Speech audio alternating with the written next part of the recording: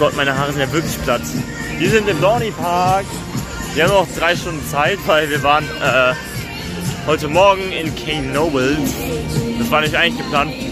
Dorney Park war gar nicht geplant. Ich war so heute Morgen so, weil wir hatten an, uns Anfang bei der Tourplanung ähm, entschieden, ob wir jetzt King Nobles oder Dorney an den Park, Tag heute machen.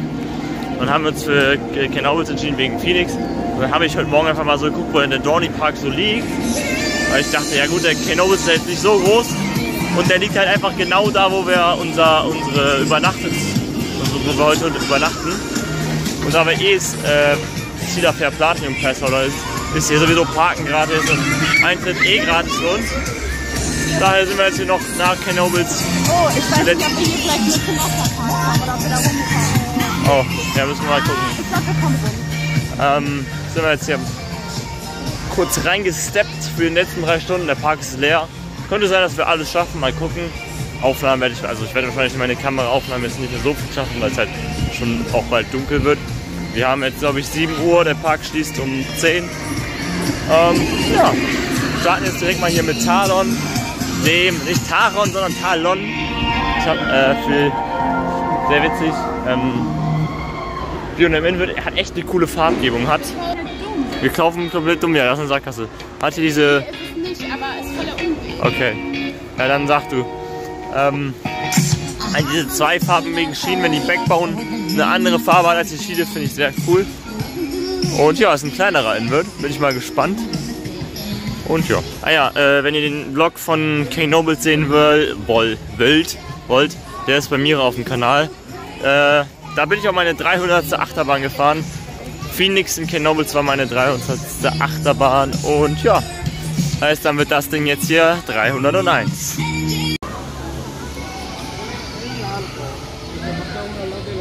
So, wir kommen gerade aus Talon, ähm, war Walk-On. Entschuldigung, ich entschuldige mich. Wir kommen gerade aus Talon, war Walk-On. Ähm, Brainhanger. Was ich sagen wollte ist, war Walk-On, sie haben trotzdem zwei Züge drauf. Das ist Cedar Fair. Also Cedar Fair und Six Flags, die knallen, also vor allem Six Flags, die knallen immer, die knallen immer zwei Züge, egal wie leer es ist. Die knallen einfach die Züge drauf. Das ist sehr gut für uns, weil wir haben nicht so viel Zeit und der Park scheint echt nicht viel Wartezeit zu haben. Also alles scheint Walk-On zu sein laut Wartezeiten. Steel Force soll wohl 60 Minuten haben. Ich mir nicht so ganz vorstellen kann. Müssen wir mal gucken. Vielleicht haben sie da nur einen Zug drauf und das ist übel lang.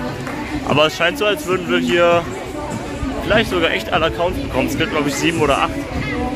Ähm, ja, mal gucken, was wir als nächstes machen. Ich hätte richtig Lust auf Possessed, weil es so ein Intermin Impuls ist und davon gibt es halt nur noch, soweit ich meine, zwei in den USA oder zwei oder drei und einen in China, die sterben halt richtig aus. Und so einen würde ich noch echt gerne fahren. Ähm, ja, da gibt es ja noch Haldor und so ein Intermin First Generation Drop Tower, wie es eben auch im Movieland gibt. Da bin ich auch richtig gespannt drauf. Das zählt ja auch als Count. Ah, da vorne sehe ich die wilde Maus. Ja, mal gucken. Mal gucken. Ta ah ja, ich habe zu Talon überhaupt nichts gesagt. Talon richtig nicer Invert. Am Anfang voll Standard.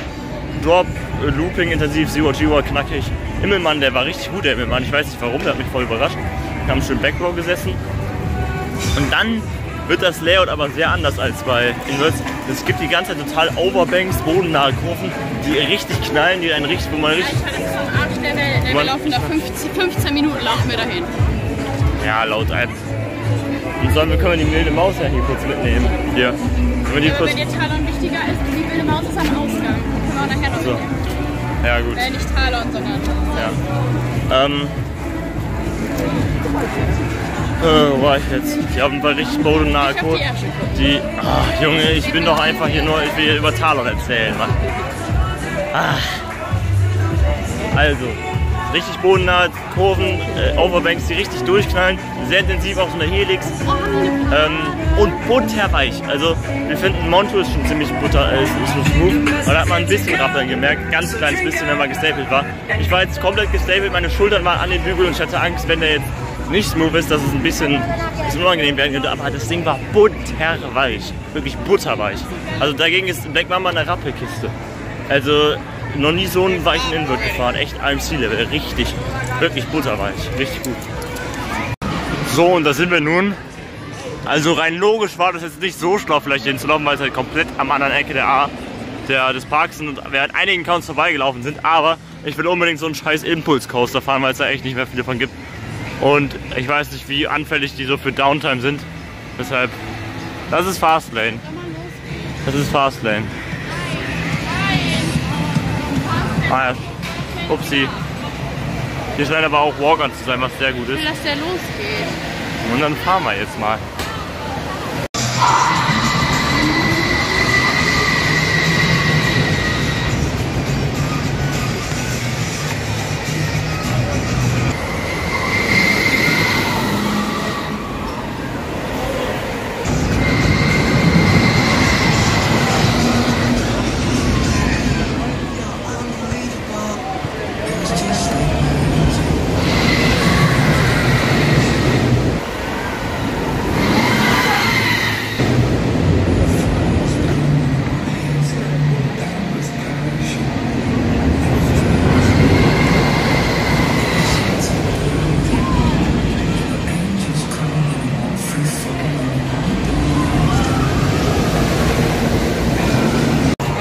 So, also wir kommen jetzt ja auch aus Possessed. Was? Wa- Was Walk-On? War Walk-On? Was voll komisch war, Wir wurden possessed. wir wurden Possessed, ja. Hier sieht man es, warte, ich zeig's euch mal. Die Gurte hier, das habe ich noch nie gesehen, ist einfach an der Seite und werden hier reingesteckt. Also das ist ja, denke ich mal, für dickere Leute. Und das ist halt, also die meisten, also bei uns ging es auf jeden Fall easy in den hinteren. Sehr weird auf jeden Fall. Ähm, Bügel auf jeden Fall nicht zu eng, war ganz nice. Ich wurde zwar ein bisschen gestapelt, aber war voll okay. Und der Spike, wir haben uns jetzt halt, weil der hintere Spike nicht twisted ist, sondern gerade haben wir uns jetzt versucht weit vorne zu stellen. Die erste und zweite Reihe war halt komplett voll und die dritte war Walk-On, deshalb haben wir halt die dritte Reihe genommen. Mira guckt traurig, was ist los? Das ist doch ab, ab 23. Juli. Ich wollte Ah, die, Lichterparade Ja, sehen. keine Zeit für Lichterparade. Nee. Was? Ja, wir, Lichterparade gucken. ja, wird wohl leider nicht. Ähm, ja, tut mir leid. Was soll ich machen? Ähm, Aber die hier hin jetzt. ja. Bimmelimmelim, Parade ist da. Ja! Ja, aber auf jeden Fall dadurch den Spike wird man Gott ganz gut durchgeschossen da vorne, wie man da hochdreht, macht richtig Bock. Ist jetzt nicht so gut wie bei Star Trek der Twisted. Gut, bei bei Star Trek, wenn man hinten sitzt, ich kann es auch nicht so ganz vergleichen. Ich denke mal, bei Wicked Twist am Cedar Point war es ziemlich nice, wenn man in der letzten Reihe gesessen hat. Aber ich bin froh, mal so ein Ding gefahren zu sein. Vor allem am Anfang der erste Lounge, der ist ja nicht schnell. Aber der, der Initialschlag, das macht einfach. Du wirst voll nach hinten geschossen und danach, danach ist es eine langsame Beschleunigung, so, so Mack-Lounge. So. Aber der Initialschlag, der kickt dich mal erstmal ordentlich nach hinten. Der hat mich ganz schön überrascht. Ähm, ja, jetzt gehen wir mal weiter, mal gucken, was wir jetzt hier so machen.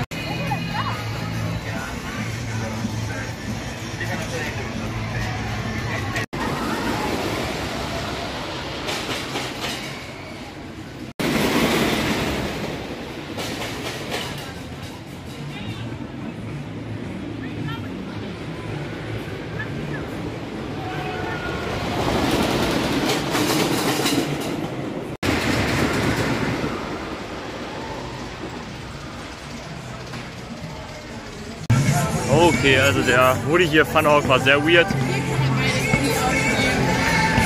Ja. War sehr weird. Äh, bisschen. Also da war eine Stelle, da war gar kein Lichtraumprofil. Also ob der hätte die Hände auch nach oben strecken können, weil die war so ein bisschen gebankt, die Schiene. Und da war so viel Schütze. Da, an der linken Seite von mir so hätte die Hände hochgemacht, dann, dann wären die weg gewesen. Also da war gar nichts mit Lichtraumprofil. Also nicht mal mehr oben. Die meisten alten Bahnen haben ja zur Seite nichts, aber oben Lichtraumprofil, da, da, war, da war nichts so. Ähm, ja, war echt weird, weiß nicht, weiß nicht so. Ähm, und ja, jetzt nehmen wir hier Steel Force mit der, ähm, nicht Magnum, wie heißt Magnum hat einen sogenannten Magic Seed. Nicht Magnum, wie heißt Er ist die Morgan, der Morgan Hyper. Ja, so ein bisschen nachgemacht von äh, Magnum XL 200, soll aber hier echt viel schlechter sein. Bin mal gespannt. Ja, mal gucken, ne?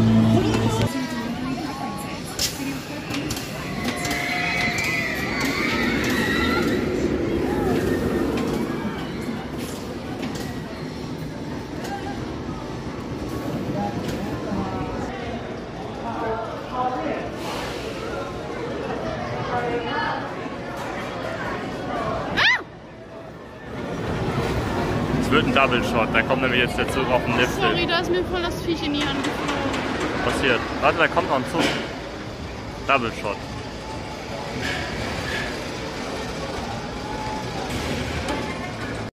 So, wir kommen aus Steel Force.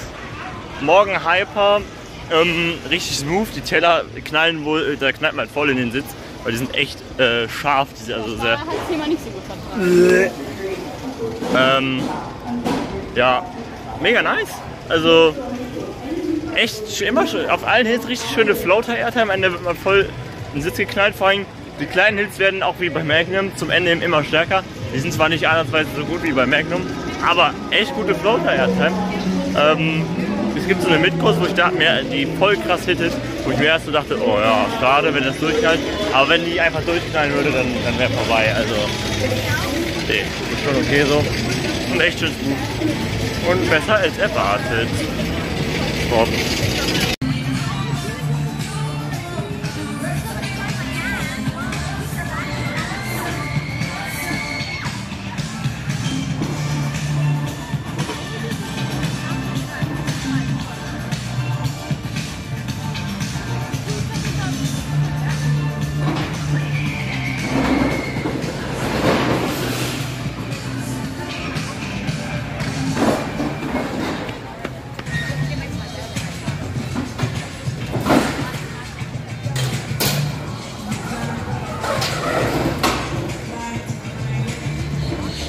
Okay, wir sind jetzt hier mit Demon Drop gefahren.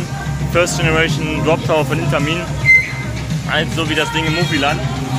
Ist so nice das Teil. Der Drop ist auch ganz schön gut intensiv, aber wer die Dinger nicht kennt, man, die Gondel steht gerade, fällt ein Aufzug hoch, man sitzt da drin, dann wird man nach vorne gefahren, dann droppt das Ding und dann fällt das halt diese Kurve, dass man so auf dem Rücken liegt und dann wird das mit diesem Mechanismus hier wieder aufgestellt. Ich zeige euch das, ich habe das ja alles gefilmt, ihr werdet das sehen im Video, so habt ihr es ja schon gesehen. Es ist so weird. Und das Tal, wenn man da so rauswählt, ist so intensiv und die Bremse geht so schnell. Äh, das, das war übel Bock. Die Bügel sind auch so komisch. Ähm, macht richtig Spaß.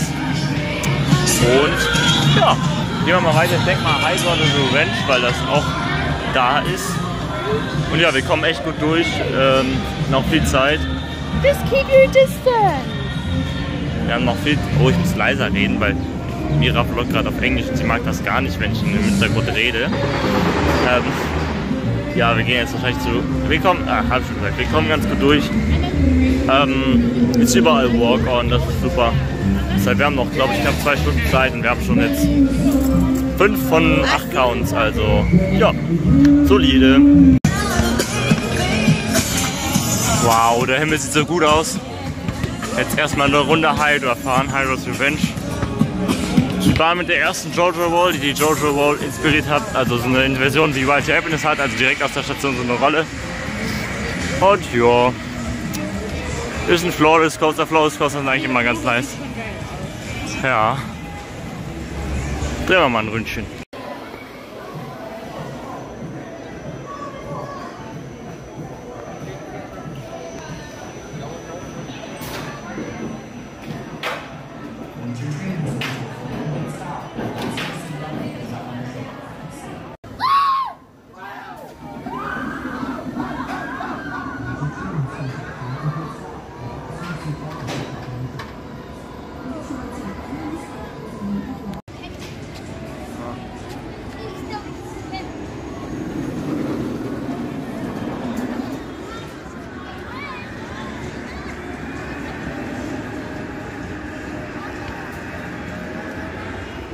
So, also wir kommen aus Hydra the Revenge, dem Flawless Coaster hier mit der Jojo Wall. Der Jojo Wall ist echt richtig nice, weil ähm, da hat man richtig schöne Hangtime.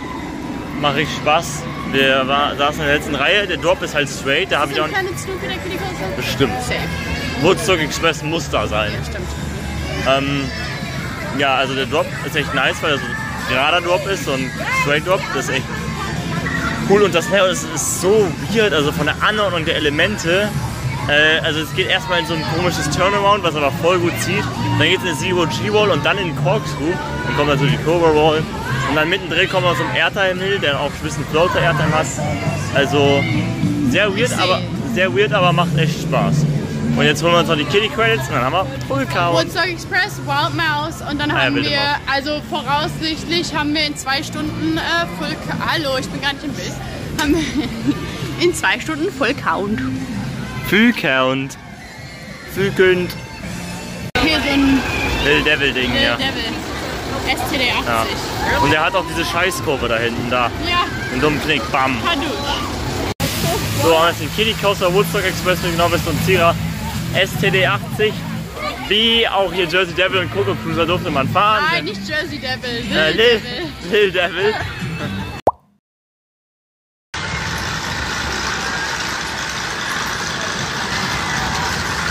Und auch Coco Cruiser im Dings. Ähm, ja, und da das fuhr vor unserem Busch und da waren wieder ganz viele Glühwürmchen. Generell scheint mir im Moment so die Glühwürmchen-Paarungszeit zu sein. Es sind so viele Glühwürmchen unterwegs, ist sehr süß. Und jetzt fahren wir noch die wilde Maus und dann haben wir Full Count. Yay. Yay. Und wir haben, wie viel Uhr haben wir? Wie lange haben wir noch? Äh, 20.47 Uhr. Das heißt, wir haben noch eine, eine und eine Viertelstunde Zeit. Das heißt, wenn wir die Wild Mouse haben, haben wir acht Counts in zwei Stunden geschafft. Ja, und dann haben wir noch Zeit für Night Rides. Äh. Boah, hat das lang gedauert. Das war safe die längste Wartezeit heute. Ja, das war safe die längste Wartezeit heute. Auch länger als bei Kenobis alles.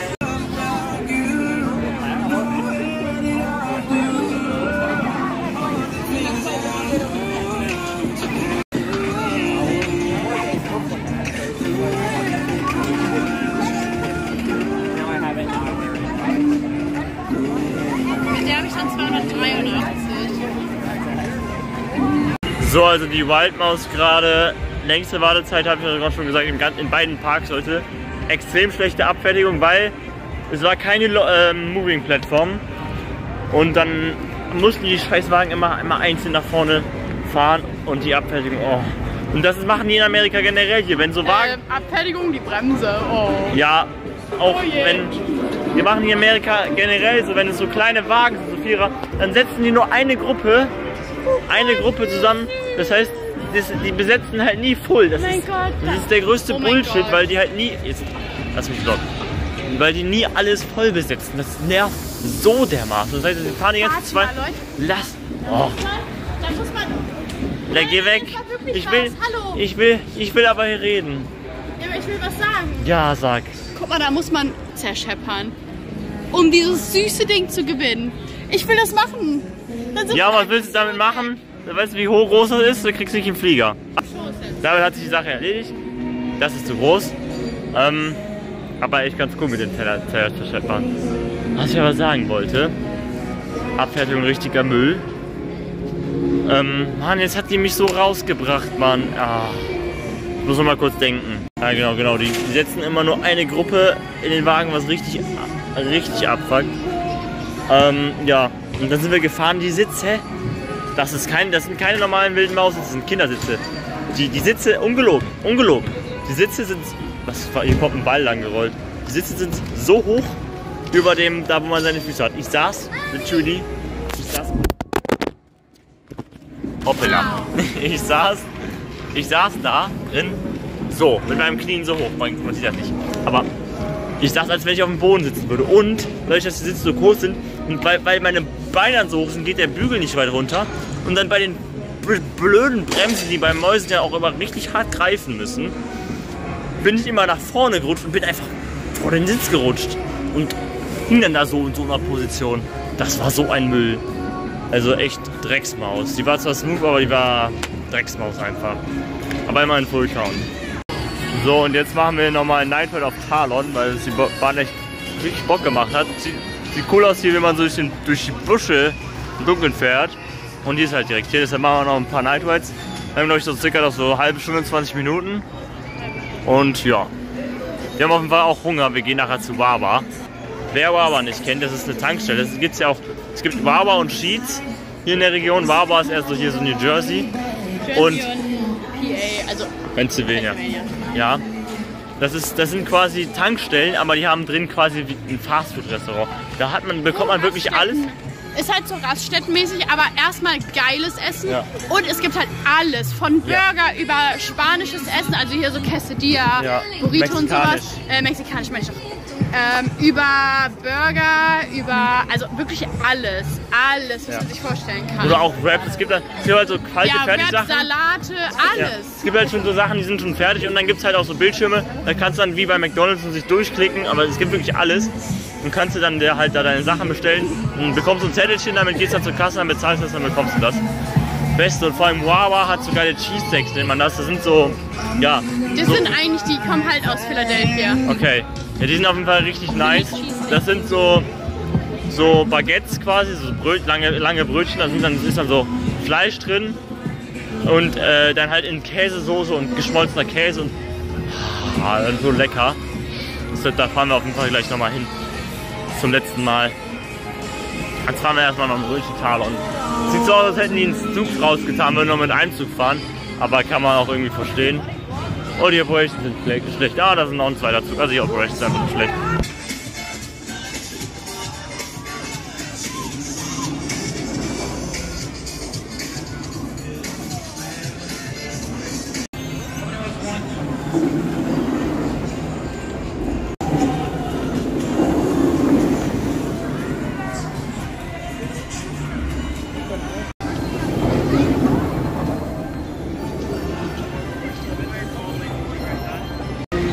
So, zum Abschluss haben wir noch zwei Röntchen in der Backrow mit sitzen bleiben, auf Talon mit Talon mitgenommen. Echt auch ein schöner Night Ride, wenn man so, Taloni Macaroni. man so in den Inversionen immer den, oh, die die, Anna. die, die Lichter sieht. Und ja, auch echt schön smooth waren. Echt ein schöner Inward. Und diese eine bodennahe Kurve, wenn du links sitzt, da kannst du echt fast den, fast den Boden berühren. Das ist echt nice. Also Dorney Park finde ich echt ein schöner Park. Hat auch hier mega viele Flatbeds. Also hier kann man, auch wenn es jetzt leer war, hier hätte man locker den ganzen Tag verbringen können und äh, Spaß haben können. Ohne Probleme. Ähm, ja, damit verabschiede ich mich von diesem Vlog. Ich hoffe, der Vlog ist mal ein bisschen kürzer als die anderen. Müsste eigentlich. Boah, ich weiß gar nicht, wie an- lang die anderen Vlogs sind. Ich schätze die anderen Vlogs so immer so auf halbe Stunde bestimmt, weil ich immer zu viel laber. Ich hoffe mal, der hier kommt hoffentlich mal unter 20 Minuten. Nope. Äh, da ich eh nicht so viel Aufnahmen gemacht habe, Wir kann es eigentlich gar nicht länger als die Die ist 15 sehr geil beleuchtet. Troika? Troika. Du bist doch so ein Ding noch nie gefahren. Ja, komm, okay, dann fahren wir Ja, das dann Ding. machen wir das. Okay, dann machen wir Wir das. suchen mal den, wenn wir den Eingang. Okay. Das ist auch so ein ganz Standard Flatride hier in Amerika oder generell so ein Oldschool-Ding. Haben wir in so vielen Parks gesehen, sind wir aber nirgendwo gefahren. Hansapark zum Beispiel. Hansapark gibt's auch? Okay. Ja, fahre ich mal mit so einem Ding hier. Nehmen wir den Bums doch mit, oder? Voll schön beleuchtet. Ja, das ist echt schön beleuchtet. Bus? Das, Das muss.